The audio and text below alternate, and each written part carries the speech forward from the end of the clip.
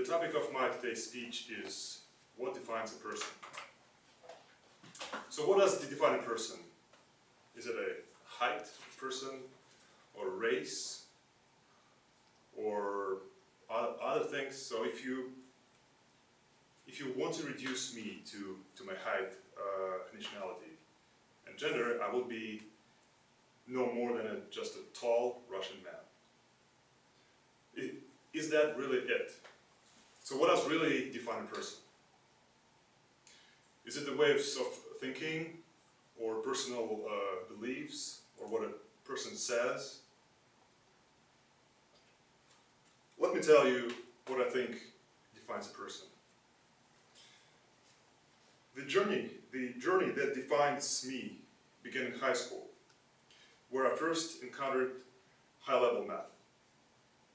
This encounter has helped me realize that the preciseness of mathematics fascinated me, and I enjoyed investigating mathematical problems. I solved problems and completed projects in high school that were not mandatory, but I did that out of pleasure. I declared a math major in, in high school, and I participated in all kinds of uh, scientific uh, uh, com com competitions, and I was always among the top three places. In the 10th grade, I made it, to, it into the final of the prestigious George Soros High School Science uh, competition. It's considered to be a very difficult uh, competition, but making it to the finals, I felt that I, I was proud of uh, myself.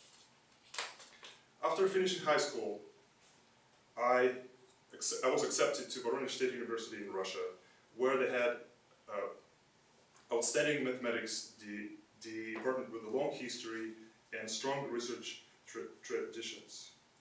After my freshman year, I was offered to take advanced placement exams, and after outstandingly passing them, I was allowed to skip my sophomore year.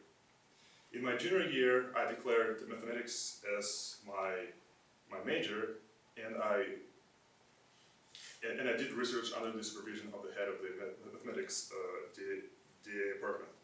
My advisor referred to my work as excellent and that it would uh, benefit his future in, endeavors. I realized that uh, mathematics offers me the opportunity to satisfy my curiosity, to realize my talents, and solve any problem with elegance. I love the clear, clear structure of uh, mathematical proofs. Mathematics is uh, universal, flexible, and I enjoy applying it to other areas. This is precisely the reason why I began studying physics in the US. Like my undergraduate research project, my research project, my graduate research project dealt with, dealt with solvability of mathematical problems. This time, however, it was more tricky.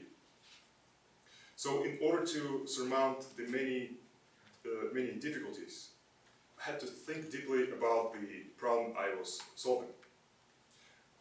A lot to physics since it taught me how to think rationally about the, the problem I was solving.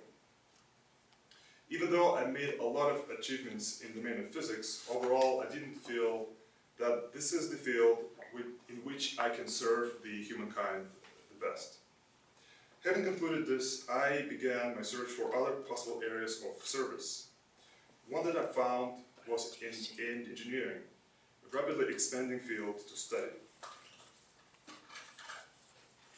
To further better myself by joining the network of intellectual, uh, motivating, scientifically involved people, I applied and was accepted to UConn, where I have had a unique opportunity to customize my study to fit my personal goals. I am receiving an outstanding education as well as improving my research skills and expanding the knowledge of the field, thereby making, make, thereby making sure that people benefit from my research. In the future, I would also like to be a guide for future uh, generations to pass on my experience to smart, energetic, resolute, dedicated, assiduous, per perseverant young people. So what does really define a person? Is it a way of thinking? But most people do not follow what, what, what they think, they don't apply to life. You never know what the what the person actually believes in, and you never you can never trust what a person says. But what a person does, this is actually what makes the difference because actions speak louder than words. Thank you.